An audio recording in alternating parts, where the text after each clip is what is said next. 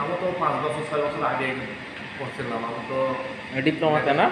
হ্যাঁ। ডিপ্লোমার সময় আচ্ছা আচ্ছা। তখন তো আর সুযোগ হয় না স্যার এখন আমাদের ওখানে তো সব কিছু ছিল ওখানে মনে করেন ইচ্ছা মতো করা যায় তো। আচ্ছা। স্পিনিং পুরা ইয়েটাই ছিল। কোথায় কোথায় ছিলেন বরিশালে। ও। গভর্নমেন্ট না? হ্যাঁ সব কিছু আছে একটা ডাইং মেশিন ইটি সবগুলাই ছিল। আর ওখানে তো বিএসসি সহ থাক ডিপ্লোমা বিএসসি সকালে বিএসসি ক্লাস করতাম ডিপ্লোমা আমরা বিকেলে ক্লাস করতাম। চলে না ওখানে তো আমাদের সুযোগ নেই ইন্টার পাস করে ওখানে। ও আচ্ছা আচ্ছা আচ্ছা আচ্ছা আর টিচাররা তো ডাবল বেতন পায় টিচারদের তো লাভ ছিল স্যার ওখানে। হ্যাঁ খাটনি ডাবল আপনি ডবল বেতন পারো মনে করেন যে টাকাও তো মাসে অনেক টাকা। ডাবল বেতনটা পায় স্যার। তো বেড়ে গেছে এখন শুরু?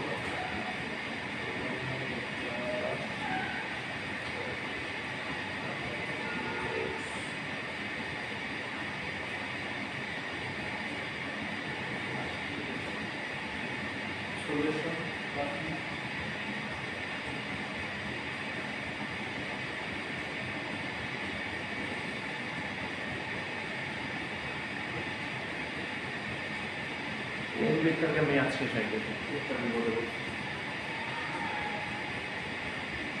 আসলে ওই ব্যাগ থেকে এক মাস পরে রাখো একসাথে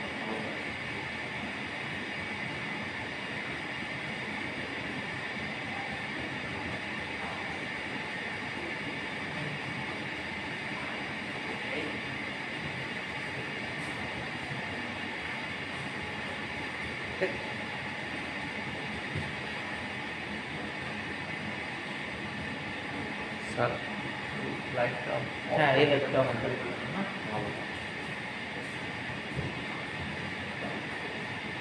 ওটা ওই পাশে হ্যাঁ ওকে এটা সব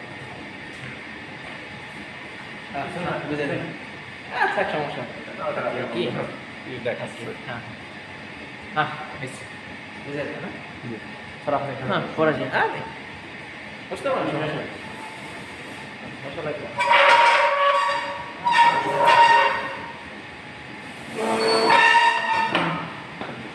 আচ্ছা গতদিন আমরা হইতেছে লাইট নিয়ে কি পড়াশোনা শুরু করছিলাম তাই না? মনে আছে না? আমরা হইতেছে এতদিন হচ্ছে কালার কীভাবে মেজার টেজার করতে হয় সেটা সম্পর্কে জানছি। এর আগে আমরা হচ্ছে কি কালার ম্যাচিং ক্যাবিনেট সম্পর্কে জানছি হ্যাঁ? তো কালার নিয়ে আমরা এতদিন কথাবার্তা বলছি। তো গত ক্লাস থেকে আমরা শুরু করছি যে লাইট নিয়ে কথাবার্তা তাই না? আমরা বলছিলাম যে কালার জিনিসটা আসলে কি কালারের সঙ্গে আমরা কিন্তু এরকম করছিলাম যে কালার হচ্ছে যখন কোনো লাইট একটা অবজেক্টের উপর পড়ে সেটা রিফ্লেক্ট করে আমাদের চোখে আসে তখনই কিন্তু আলটিমেটলি আমরা কালারটা দেখতে পাই তাই না? হ্যাঁ। এটা একটা ওই অবজেক্টের হচ্ছে বৈশিষ্ট্য হ্যাঁ? ভিডিও হচ্ছে ভিডিও হচ্ছে সমস্যা নেই। এই অবজেক্টের কালারটা হচ্ছে একটা অবজেক্টের একটা ইউনিক একটা বৈশিষ্ট্য হ্যাঁ? লাইটটা পরে ওটা রিফ্লেক্ট হয়ে আমাদের চোখে আসে আমরা কালারটা দেখতে পাই তাই না? আচ্ছা তো আমরা কালারের লাইট সম্পর্কে বেশ কিছু জিনিস জানছিলাম আমরা লাইটের ক্যারেক্টারিস্টিক সম্পর্কে আলোচনা করতেছিলাম, তাই না? আমরা বলছিলাম যে লাইট কিন্তু একই সাথে হচ্ছে সে ওয়েভ আবার একই সাথে হচ্ছে সে পার্টিকেল তাই না? মানে একই সাথে মানে হচ্ছে আমরা ইলেভেন টুয়েলভে মানে পড়ছি যে কণা তত্ত্ব এবং হচ্ছে তরঙ্গ তত্ত্ব দুইটাই আর কি ফলো করে লাইট হ্যাঁ? একই সাথে সে তরঙ্গ বা ওয়েভ বা একই সাথে সে পার্টিকেল বা কণা হ্যাঁ? আচ্ছা কণা কেন বলছিলাম আমাদের?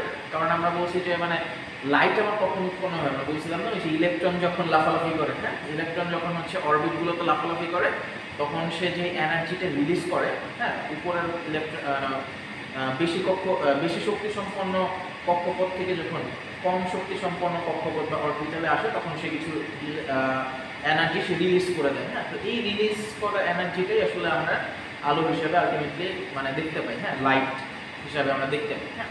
আচ্ছা।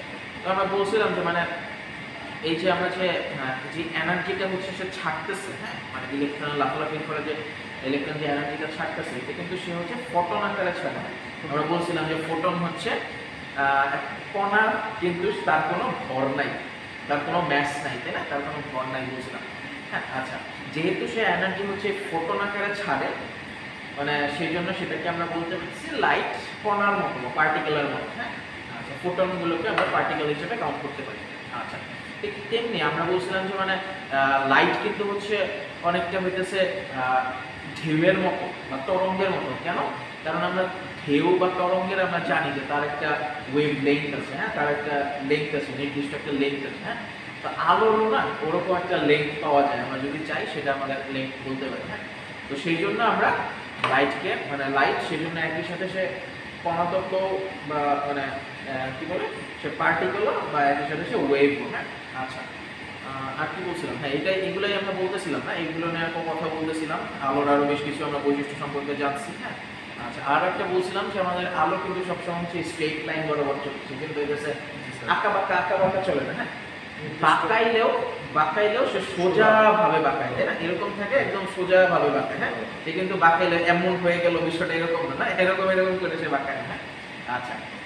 আচ্ছা বাই দ্য আমরা বলছিলাম যে মানে লাইটকে কিন্তু আমরা ইলেকট্রোম্যাগনেটিক ওয়েভও বলতে পারি তাই না? এটা আমরা বলছিলাম। কেন বলছিলাম? কারণ ইলেকট্রোম্যাগনেটিক কেন বলতেছি? ওই যে ইলেকট্রন যে লাফালাফি করে তখনই তো এনার্জিটা রিলিজ হয় এবং লাইটটা আমরা পাই দেখতে পাই তাই না? সেই জন্য আমরা এটাকে ইলেকট্রন এবং ম্যাগনেটিক ফিল্ডের সমন্বয়ে ইলেকট্রোম্যাগনেটিক ওয়েভও বলতে পারি না? আচ্ছা। তো আমরা যেটা বলতেছিলাম যে লাইট হচ্ছে আমাদের স্ট্রেট লাইন বরাবর চলে হ্যাঁ? সে কখনো বক্র পথে চলে না। বক্র পথে চলা আর বেন্ড হওয়ার মধ্যে একটা পার্থক্য আছে হ্যাঁ? লাইট কি আমাদের বেন্ড হয় কিনা সেটা আজকে আমরা একটু দেখ- দেখার চেষ্টা করতেছি হ্যাঁ? বক্রপথ বলতে আমরা কি বলছি? মানে একবার একদিকে গেল আর একবার মানে যাওয়ার পথটাই সোজা। বেন্ড কি হয় লাইট আমরা গত ক্লাসে মনে হয় সংক্ষেপে বলছিলাম যে হয়। কীভাবে বেন্ড হয়? মানে তার হয়তো একদম এই লাইন বরাবর যাওয়ার কথা ছিল, সে একটু বাঁকা হয়ে এইটুকু এইভাবে যাচ্ছে হ্যাঁ?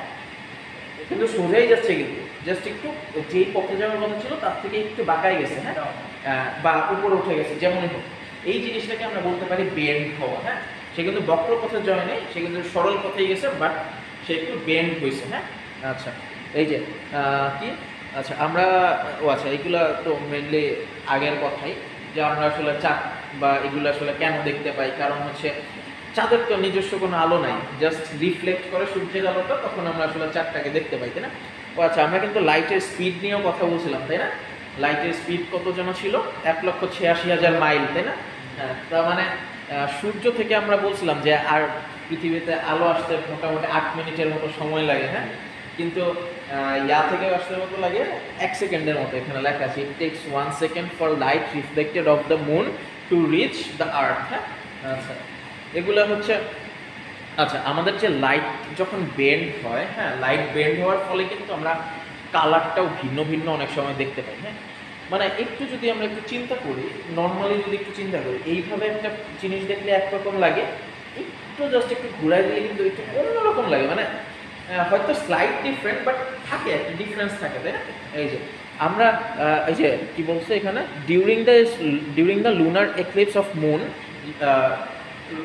lunar eclipse the moon looks red because sunlight bends around the earth and blue is filtered out. আচ্ছা। মানে যখন আর কি আমাদের যে চন্দ্র- চন্দ্রগ্রহণ হয় চন্দ্রগ্রহণের সময় আমরা আহ, চাঁদটাকে একটু লালচে লালচে দেখা যায় হ্যাঁ? যদিও আমরা আসলে ওই টাইমে চাঁদ তাকাই না তাই না? একটা বিশ্বাস আছে যে চোখে চোখের সমস্যা হয়।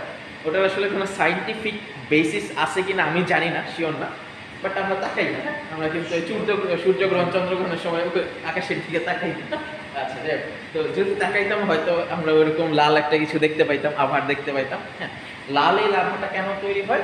কারণ চন্দ্রগ্রহণের সময় লাইটটা একটু বেন্ড হয়ে যায়। বেন্ড হওয়ার পরে মানে পৃথিবীর পাশ দিয়ে যখন লাইটটা যায়, তখন একটু বেন্ড হয়ে যায়। বেন্ড হয়ে যাওয়ার পরে, ফলে কি হয়? ব্লু যেই পোর্শনটা আছে লাইটের যে ব্লু পোর্শনটা আছে, সেটা ফিল্টার্ড আউট হয়ে যায়। লাল অংশের আলোটাই শুধু থাকে সেই জন্য আমরা এটাকে লাল রঙের দেখতে পাই, তাই না? এটা মেনলি হয় ওয়েভ লেন্থটা তখন আর কি বেড়ে যায়। আমরা মনে হয় বলছিলাম যে অল্প ওয়েভ লেন্থের যে লাইটগুলো আছে, সেগুলোকে দেখতে আমরা নীল দেখি, আর বড় ওয়েভ লেন্থের যে লাইটগুলো আছে, সেগুলোকে দেখতে আমরা লাল দেখি হ্যাঁ? আমরা ওয়েভ লেন্থ বলছিলাম যে, মোটামুটি ভিজিবল স্পেকট্রামে হইতেছে আমাদের সাত, তিনশো আশি থেকে সাতশো বিশ ন্যানোমিটার স্পেকট্রামে যেসব লাইটগুলো আছে, সেগুলো আর আমরা দেখতে পাই হ্যাঁ? তো তিনশো বিশ ন্যানোমিটারের যে ওয়েভলেন্থের যে লাইটগুলো আছে, সেগুলো মেইনলি হচ্ছে একটু ব্লু বা ব্লুইশ হয় হ্যাঁ? আর সাতশো বিশের ওয়েভলেন্থের যেসব মানে সাতশো বিশ দৈর্ঘ্যের যেসব লাইটগুলো আছে, সেগুলো দেখতে একটু রেড বা রেডিশ হয় হ্যাঁ? আচ্ছা তো এখানে কি করল যে ব্লু লাইটটা আর কি ফিল্টার্ড আউট হয়ে যায় মানে ছোট তরঙ্গ দৈর্ঘ্যের যেসব লাইটগুলো আছে, সেগুলো ফিল্টার্ড আউট হয়ে যায় এবং বেন্ড হয়ে যায়। সেজন্য আমরা আলটিমেটলি লাল কালার দেখতে পাই হ্যাঁ? আচ্ছা। আচ্ছা লাইট আসলে মানে কোনো প্রোডাক্টের সাথে মানে কোনো অবজেক্টের সাথে সরি কীরকম আচরণ করে হ্যাঁ? সেই সম্পর্কে আমরা একটু জানতে চাই হ্যাঁ? তো আমরা গত ক্লাসে এটা নিয়ে আর কি শুরু করেছিলাম। ওইভাবে আসলে হয়তো শেষ করা হয়নি। হ্যাঁ তো লাইট আসলে কীভাবে ইন্টারাক্ট করে? মানে মূল আমরা একটু আগে যে সংজ্ঞাটা বলতেছিলাম কালারের কালার আমরা কীভাবে দেখি? একটা অবজেক্টের উপর লাইটটা যখন পড়ে, আমাদের উপরে, আমাদের চোখে আসলে রিফ্লেক্ট করে আসে, তখন হচ্ছে আমরা হ্যাঁ দেখতে পাই, তাই না? এই যে একটা অবজেক্টের উপর পড়ল এবং রিফ্লেক্ট করে আসলো, এটা একটা ইন্টারাক্ট হওয়ার কি বলে এইটা একটা ইন্টারাক্ট হওয়ার পদ্ধতি হ্যাঁ? এই যে রিফ্লেক্টেড হ্যাঁ? রিফ্লেক্টেড রিফ্লেক্টেড হ্যাঁ? রিফ্লেক্টেড মানে একটা লাইট আসলে অনেকভাবে ইন্টারাক্ট করতে পারে, তার মধ্যে একটা ইন্টারাকশনের ওয়ে হচ্ছে রিফ্লেক্ট করা হ্যাঁ? ওই যে আমরা যে মিরর দেখি বা আয়না দেখি, এখানে বলা আছে, তাই না? মিরর আয়না আসলে কি দেখি? আমরা নিজেদের প্রতিবিম্ব তো দেখতে পাই লাইটটা পরে ওই যা যা পড়ল সেটাই আবার ফেরত আসে সেই জন্য আমাদের নিজেরা নিজেদেরকে দেখতে পাই, তাই না? আচ্ছা এছাড়াও আরেকটা হয় লাইট হচ্ছে ট্রান্সমিট হয়। ট্রান্সমিট মানে কি? ট্রান্সমিট হচ্ছে ওটার মানে কোনো একটা বস্তুর ভিতর দিয়ে পাস করে চলে যায়, আর ফেরত না আসে। ফেরত আসাটাকে তো আমরা রিফ্লেক্ট বলতেছি, তাই না? রিফ্লেকশন বলতেছি। ফেরত যখন না আসবে, তখন সেটাকে আমরা বলব ট্রান্সমিশন হ্যাঁ? আচ্ছা বা এই ট্রান্সমিটটা কোথায় হয়? এই যেমন গ্লাসের কথা। হ্যাঁ গ্লাসে কিন্তু মানে এই মুহূর্তে আমরা কিন্তু কোনো আমাদের তেমন কোনো প্রতিবিম্ব দেখতে পাইতেছি না। কি বাইরে আছে সেটা দেখতে পাইতেছি হ্যাঁ? আলোটা ওদিক থেকে গ্লাস ভেদ করে আমাদের চোখে আসতেছে, সেই জন্য আমরা দেখতে পাইতেছি, না? গ্লাস ভেদ করে চলে আসতেছে। গ্লাসে পরে এরপরে আবার ওদিকে চলে যাচ্ছে বিষয়টা ওরকম হচ্ছে না, তাই না? যদি হইতো তাহলে কিন্তু আমরা আর ওই সেক্টর দেখতে পাইতাম না হ্যাঁ? আচ্ছা এটা হচ্ছে ট্রান্সমিশন হওয়ার বিষয় আচ্ছা এরপর হচ্ছে স্ক্যাটার মানে কি?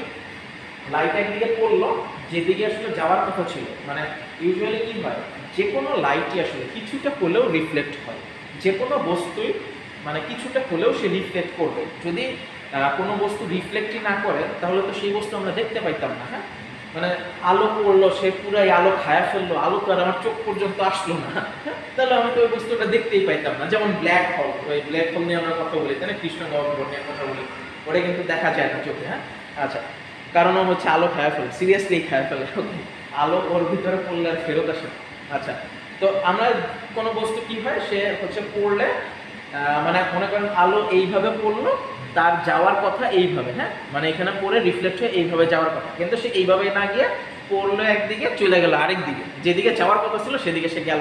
হ্যাঁ, এই অবস্থাটাকে আমরা বলি হচ্ছে স্ক্যাটার মানে ছড়াই যাও একটা এক দিকে ছড়াই যাও যে যেদিকে থাকার কথা সে সেদিকে থাকে আচ্ছা স্ক্যাটারটা আমরা কোথায় স্ক্যাটার হওয়াটা আসলে আমরা কোথায় দেখতে পাই? যেই সব সারফেসগুলো একটু অ্যাব্রো থ্যাব্রো ওগুলোতে স্ক্যাটার বেশি হয় হ্যাঁ? সেগুলোতে স্ক্যাটার বেশি হয়। যেখানে স্ক্যাটার হয় না, সেই জিনিসটাকে দেখবেন একদম মসৃণ হ্যাঁ? যে যত বেশি মসৃণ, যে বস্তুর মানে সারফেস যত বেশি মসৃণ, সে কিন্তু খুব কম লাইট আসলে এরকম স্ক্যাটার কম হ্যাঁ? সেজন্যই ওটাকে আমরা মসৃণ দেখতে পাই বা ওটা চকচক করতে দেখতে পাই হ্যাঁ? মসৃণ জিনিস কিন্তু চকচক করে, তাই না? কেন? কারণ ওখানে লাইট বেশি লাইটটা বেশি পরিমাণে ভালোভাবে রিফ্লেক্ট হতে পারে হ্যাঁ? আচ্ছা। এরপরে কি আছে আমাদের? অ্যাবজর্ব সব বস্তু আসলে কিছু পরিমাণ হলেও আসলে লাইটটা অ্যাবজর্ব করে। অ্যাবজর্ব মানে ওই যে খেয়ে ফেলার একটা বিষয় যে বললাম হ্যাঁ? শোষণ করা বা খেয়ে ফেলার একটা বিষয় হ্যাঁ? সব বস্তুই কিছুটা হলেও লাইট সে খায় হ্যাঁ? খায়। আচ্ছা। তো এই জিনিসটাকে আসলে রিফ্লেকশন অ্যাবজর্পশন বলে হ্যাঁ? তো মানে সব বস্তুই, মোটামুটি যে কোনো ধরনের বস্তুই আসলে মোটামুটি হচ্ছে একটু লাইট ইয়া করে কোনোটা হচ্ছে বেশি কোনোটা কম। কালো রঙের যেসব প্রোডাক্টগুলো দেখবেন বা অবজেক্টগুলো দেখবেন এরা হচ্ছে একটু বেশি লাইট খায়। হ্যাঁ সেই জন্য আমরা দেয়ালের রং কালো করি কেন? কারণ দেখতে অন্ধকার অন্ধকার লাগে মানে যতই আলো চালাই একটু অন্ধকার অন্ধকার লাগে তাই না? কেন অন্ধকার লাগে? সে তো কিছুটা লাইট অ্যাবজর্ব করে ফেলতেছে আমার কাছে আর ফেরত পাঠাচ্ছে না সে। হ্যাঁ, সেই জন্য। আচ্ছা আচ্ছা। রিফ্র্যাক্টেড কি? রিফ্র্যাকশন মানে হচ্ছে ওই যে বাঁকায় যাওয়ার যে কথাটা আমরা বললাম হ্যাঁ? একটু আগে যে বললাম যে একদিকে যাওয়ার কথা ছিল যে এই পথে যাওয়ার কথা ছিল, সে সেই পথে না গিয়ে একটু বাঁকায় গেল। এই জিনিসটাকে আমরা রিফ্ল্যাক্ট রিফ্র্যাকশন বলি হ্যাঁ? একটু আগে আমরা হয়তো কিসের ছবি দেখলাম? চাঁদের ছবি দেখলাম। চাঁদ কীভাবে আসলে মানে লুনার এক্লিপসের সময় কীভাবে আসলে লাইট বেন্ড করে এবং আমরা আসলে রংটা লাল দেখতে পাই, সেটা নিয়ে বললাম। এছাড়াও কিন্তু রিফ্র্যাকশনের আরও অনেক উদাহরণ আছে। যেমন পানির নিচে কোনো বস্তু থাকলে সেটা কিন্তু উপরে দেখায়, তাই না? হাত দিলে বোঝা যায় না, নিচে আসছে বিষয়টা হ্যাঁ? এই যে পানি থেকে যখন বাতাসে আলোটা আসে হ্যাঁ? পানি থেকে ভেদ করে যখন বাতাসে আলোটা আসে, তখন সে একটু দিকটা একটু পরিবর্তন করে ফেলে হ্যাঁ? বা বেন্ড হয়ে যায়। যেদিকে যাওয়ার কথা ছিল সেদিকে না যায় একটু বেন্ড করে ফেলে হ্যাঁ? সেই জন্য আমরা জিনিসটাকে একটু উপরে দেখি হ্যাঁ? আর এই জিনিসটাকে আমরা রিফ্র্যাকশন আর কি বলতে পারি আচ্ছা। এছাড়াও মানে এই যে আলাদা আলাদাভাবে মানে লাইট সবসময় যে আলাদা আলাদা প্রোডাক্টের মানে আলাদা আলাদা অবজেক্টের সাথে আলাদা আলাদাভাবেই আচরণ করবে বিষয়টা এরকম না। সে চাইলে অনেক সময় একই সাথে দুই তিনটা ইন্টারাকশনও সে করতে পারে হ্যাঁ ইউজুয়ালি দুই তিনটা এক মানে কম্বিনেশনেই আসলে হয়। কারণ যে কোনো প্রোডাক্টেই যেটা বললাম, যে কোনো প্রোডাক্টেই লাইট করলে সে কিছুটা অ্যাবজর্ব করে, কিছুটা সে রিফ্লেক্ট করে, কিছুটা না, বেশিরভাগটাই সে রিফ্লেক্ট করে, কিছুটা সে নিজে অ্যাবজর্ব করে। এরকম দুই তিনটা কেস আসলে ঘটে থাকে, যে কোনো বস্তুর ক্ষেত্রেই হ্যাঁ? মোটামুটি যে কোনো বস্তুর ক্ষেত্রেই। সেজন্য এখানে কি লেখা যে সাম কম্বিনেশন অফ দিস আচ্ছা এই যে এখানে আমরা যখন যে কথাগুলো বললাম হ্যাঁ সেগুলো আর কি বলা আছে। ট্রান্সমিটেড যে বললাম যে মানে ভেদ করে চলে যায় আর ফেরত আসে হ্যাঁ? দেখছেন? চলে গেছে। রিফ্লেক্টেড মানে পড়ল এরপরে আবার আবার চলে আসবে হ্যাঁ? সেটাকে আমরা রিফ্লেক্টেড বলি স্ক্যাটার্ড বললাম। যে মানে যেদিকে আসলে যাওয়ার কথা ছিল সেদিকে না যেয়ে আরেক দিকে চলে গেল হ্যাঁ? আচ্ছা। অ্যাবজর্ড মানে ওই যে কিছুটা খায় ফেলল। আর কিন্তু সে বের হইল না। এদিকেও বের হইল না বা ওদিকেও বের হইল না হ্যাঁ? যদি এদিকটা বের হয়ে যেত তাহলে সেটাকে আমরা ট্রান্সমিট বলতে পারতাম না। যদি এবার এদিকে চলে যেত সেটাকে আমরা রিফ্লেক্ট বলতে পারতাম। আচ্ছা রিফ্র্যাক্টেড ওই যে যেটা বলতেছিলাম যে সে কিন্তু পথ কিছুটা চেঞ্জ করছে যে বেন্ড হয়ে গেছে হ্যাঁ? তার কিন্তু যাওয়ার কথা ছিল এইভাবে সোজা। না গিয়ে কি করছে সে এখানে ঢুকলো, এরপরে একটু এদিকে বাঁকায় চলে আসলো, আবার পরবর্তীতে আবার বাঁকায় চলে গেল হ্যাঁ এই জিনিসটাকে আমরা রিফ্র্যাক্টেড বলতে পারি রিফ্র্যাকশন বলতে পারি।